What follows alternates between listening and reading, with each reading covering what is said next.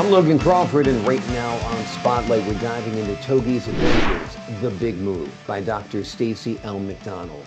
This charming children's book takes young readers on an exciting journey with Togi, a computer mouse navigating the challenges of moving to a new home. Through Togi's story, children learn about overcoming fears, embracing change, and discovering joy in new technology and new beginnings. We're delighted to have this very talented author join us here today on Spotlight. We thank the team at Atticus Publishing for helping us put her in the spotlight today, and we ask viewers like you to support authors like her by subscribing to our channel and by purchasing her amazing book. The links are below the interview. Doctor, great to see you here today on Spotlight. Thank you. It's, it's an honor. Thank you. The honor's all mine. This is a great book, an imaginative book, a unique book. Who ever thought somebody would write a children's story book about this little tool right here? But it is an important tool, no doubt. And they do need to know about it and learn about it. But tell us what your inspiration was. Um, I actually was helping a neighbor. She was 96 and having a hard time using the computer. So I walked her through how to do it. I went to bed and I had a dream and woke up at 4 a.m with this whole story in my head. So I wrote it down, called my girlfriend, who were musicians. So we are up at odd hours. And I said, listen, Anna, you know, this mouse is called Logitech. I can't call it Logitech. That's trade name. And she goes, just change the L to T and call him Togi. So I did, and the rest is history. Wonderful. Well, it's very, very clever. And uh, that little good deed of yours in helping a neighbor learn about the computer mouse uh, turned into a wonderful story for children. Let's give the folks at home an overview of the story. Okay, well, so Togi's a computer mouse. Stacy's in a high corporate office in the city, and she moves her office to her home. So therefore, Togi has to get packed up with the computer and all and go through the move and finds himself landed in his new office, her office at home with a beach scene in Florida. Wonderful, wonderful. Yes. And along the way, by reading the book, the children actually learn the many different uses of the mouse. Correct? Tell us about that. Yes. Well, they learn how Togi rolls, how left and right clicks, and how the computer mouse interacts with the computer and what the person needs to do to yeah. get a function. I think I learned a few things about the computer mouse. There's so much a mouse can actually do when you really know what a mouse can do. It's incredible, that's for sure. Yes. How did your experience as an educator influence the way you approached writing this book? Well, as you know, technology, we're in the technological boom. So, technology is a serious part of these children's education now, and we have to interact with technology all the time. So, computers and the mouse are part of their learning to navigate the the internet and and make sure they understand real sources aren't just Google and those sources. They have to really know how to go. So just uh, the function of the computer mouse and using technology is is critical anymore. I, I don't think this generation of children like I was raised without technology and it was a new thing in high school and college. So, but I think it's just so normal for this generation. Oh yeah, you see babies walking around, yes, scrolling through phones and tapping it, and probably know yeah. more how to work an iPhone than you and I. Uh, yeah, sure. I do brain-based research um, in my instructional leadership, my doctorate, so that's all part of my um, interest. And I guess uh, the this I'm writing a series of books with this because he's Togi's going at different places and different experiences, but um, there's also Christian values laced in there. And my whole point is that you still need to live life and unplug sometimes too, even though the mouse is efficient and, and necessary.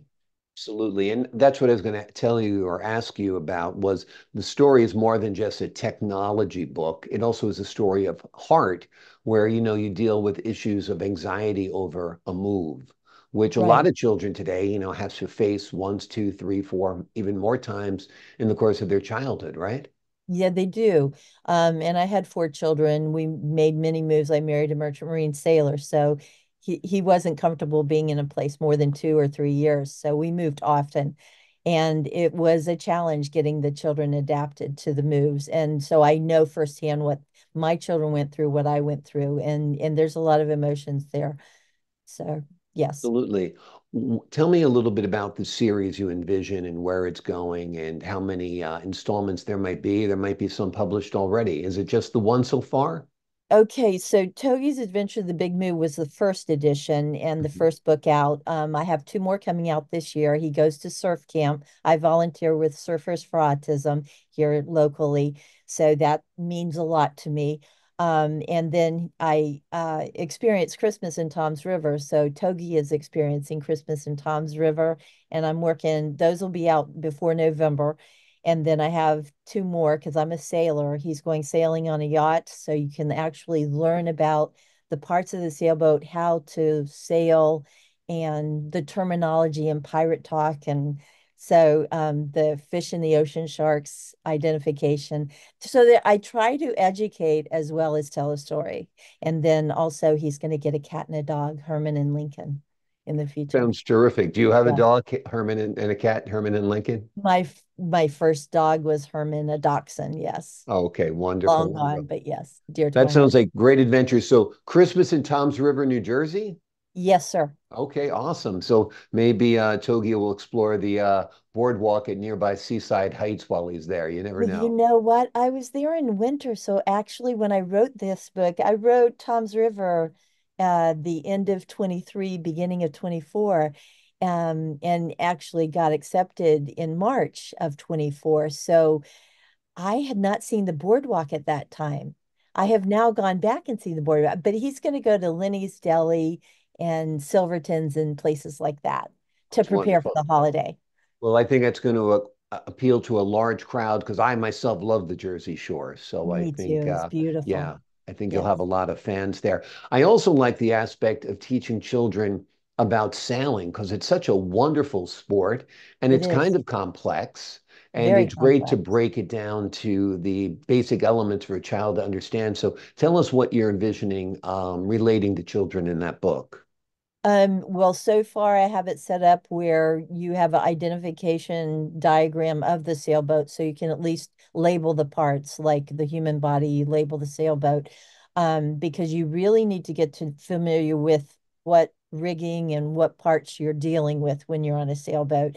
Uh, just the language fore and aft and and beams and whatnot. You have to know what that means, uh, because I was a first mate on a boat for four years and um, when the captain barked out a command, you had to know where to go, what to do, which Exactly, line to pull. So it was not, you know, goof off time. Let's sit back and have some wine or, you know, Oh, sit on the exactly. boat. Yeah. Yeah, You're, you you it's really busy. have to be interactive and know your stuff. So Yeah, I always say to every summer, I say to myself at the start of the summer, this is the summer I learned how to sail. But that'll have to wait till next summer at this point because okay. summer is almost gone here in New York. So what can you do? I Well, you'll understand enjoy it when you get there. absolutely, and I can use your book as a guide so I can at least know fore and aft and the jib and all that stuff as go. well, and Yes. lines. And I understand your grandson Noah inspired uh, this series, or at least in part. Tell us a little bit about his Well, inspiration and the dedication to him. He did. He's he's uh 17 now and quite the swimmer, but he's a geek too, like I was. And he is smarter than I ever was and will be, but he knows technology far better than I. And I'm just always amazed. Um, where his mind goes. He's got this math brainiac mind that knows technology as well.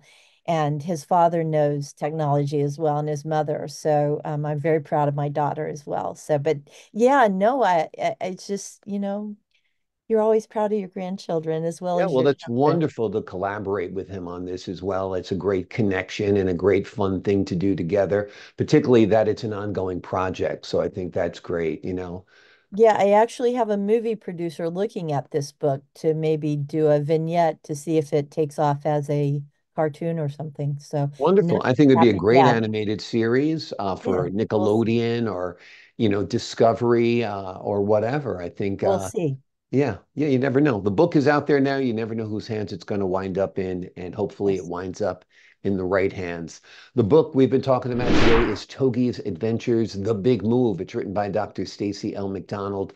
It is a charming children's book that takes readers on an exciting journey with Togi, a computer mouse navigating the challenges of moving to a new home. It's a delightful story.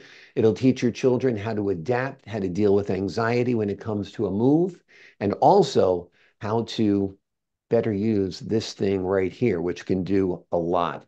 And it's the first in a series that the doctor has come up with, and they all sound like they're delightful. This one that I reviewed is terrific.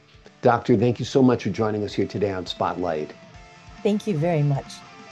Pleasure's all mine. Thanks for your time. And to the folks at home, I'm Logan Crawford, thanking you for your time, this time until next time on Spotlight.